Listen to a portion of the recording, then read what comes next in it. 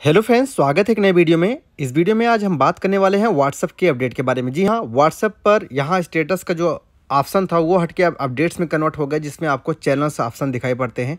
But उससे ज़्यादा problem यहाँ पर ये होगी कि ये जो अपडेट आया हुआ है उस पर सबसे ज़्यादा प्रॉब्लम होगी स्टेटस को लेकर। जी हाँ आप स्टेटस जो है देख सकते हैं ऊपर तरफ़ बट उसमें अगर स्टेटस आप लगा देते हो, आप अपने स्टेटस को डिलीट करना चाहते हैं तो डिलीट करने का ऑप्शन आपको देखने को नहीं मिलता है।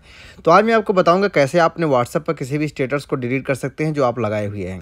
तो वीडियो फ्रेंड्स बने रहेगा चलिए वीडियो को स्टार्ट करते हैं। वीडियो स्टार्ट करने से पहले आप हमारे चैनल विजिटेक पे आए हैं। तो चैनल को सब्सक्राइब करिएगा वीडियो को आप लाइक करना मत भूलिएगा।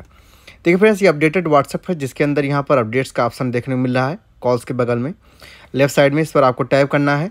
और मान लो आपने यहाँ पे स्टेटस लगाया हुआ है तो आपको अगर इसको डिलीट करना है तो उसके लिए आपको यहाँ पर देख सकते हैं नीचे जो है व्यू का जो ऑप्शन दिखता है, जैसे आप क्लिक करते हैं नीचे देखे व्यू यहाँ पर ज़ीरो व्यू काउंट कर रहा है तो इसको यहाँ पर क्लिक करते हैं, यहाँ पर देखिए सिंगल व्यू काउंट कर रहा है तो इसको हम करते, यहाँ पर क्लिक करते हैं।